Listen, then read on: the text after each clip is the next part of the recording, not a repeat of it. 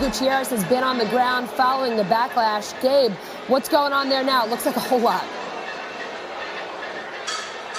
Allison, right now San Juan is at a standstill. As you can see behind me, we're underneath an overpass right now. Many of these protesters came here to escape the rain, so they crowded into this small space. But as you can see, there are just so many people here, and they're all demanding that Governor Ricardo Rosselló resign. As you mentioned, he has been under fire now for several weeks after those uh, those uh, chat messages, those private messages, were uh, leaked and published by the Center for Investigative Journalism here in Puerto Rico. In yesterday's announcement, Governor Rosselló said that he would not resign, that he would step down as the head of his political party and would not seek re-election this next year. But that hasn't sat well with many of the protesters here who say they won't quit unless the governor does. And I'm joined now by, ma'am, what's your name? My name is Jay Gonzalez. Why are you here today?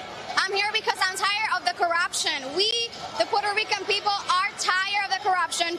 We um, came together and we want our governor to leave. I mean, we fire him. It's not about resigning, it's about we fire him as the people of Puerto Rico. Now, the governor said yesterday on Facebook Live that he wouldn't seek re election, that he would step down as the head of his political party, but that he wouldn't resign. But him not seeking re election, is that enough for you?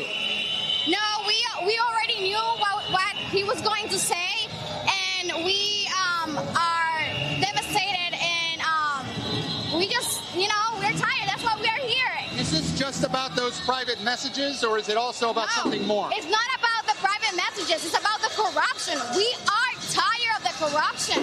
I mean, we came together to fight not only the, the, the you know, the PNP, the party, all of the politicals, I mean, all of the politicians that are corrupt why we're here today. Thank you so much for talking Thank to us, man. Thank you very much. So, Allison, this is something we've been hearing over and over again.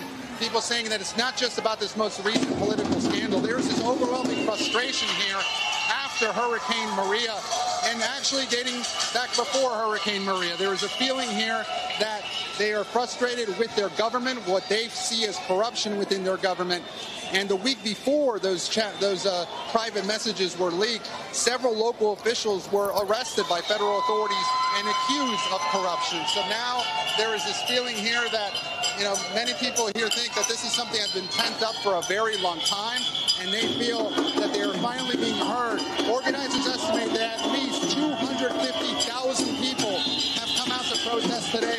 That could be a very low estimate. At one point, they thought that as many as a million people can show up. It's tough to tell when these types of things happen what exactly the crowd size is, but I can't tell you. I have not seen a demonstration this large in Puerto Rico. The one we saw last week had to be much larger, and it's expected to continue throughout the day. Allison? Hey, Gabe, I know you're, you're dealing with a really lot of noise right now. Quick question for you, if you can hear me. We're hearing that lawmakers are weighing impeachment today. Can you tell us the latest on that? Well, that, that is the big question right now. If Ricardo Rosselló were to step down, there is actually no clear successor at this point.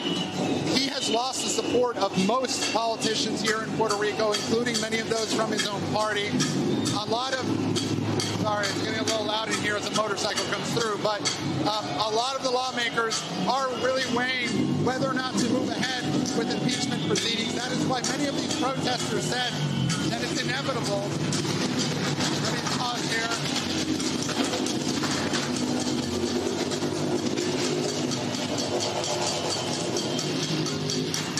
Sorry about that, Allison. That's live television here. This is a very boisterous crowd, and every time that a motorcycle comes through, uh, they get even louder. But as I was saying, the question right now is Is there a path forward for Ricardo Rosselló?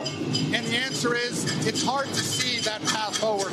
Many of these protesters say by him not resigning yesterday, it really has will now force lawmakers to try these these impeachment proceedings.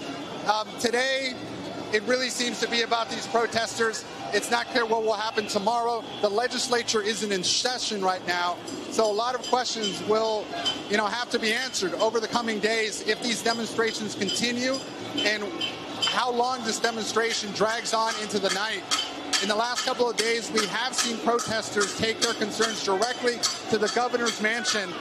And in fact, we do expect a crowd in Old San Juan later tonight taking their concerns directly there. We have not heard from Governor Rosselló today.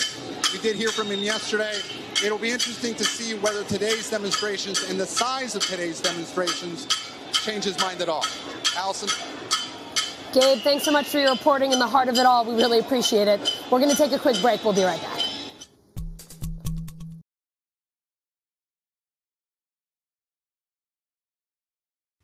Hey, NBC News viewers, thanks for checking out our YouTube channel. Subscribe by clicking on that button down here and click on any of the videos over here to watch the latest interviews, show highlights, and digital exclusives.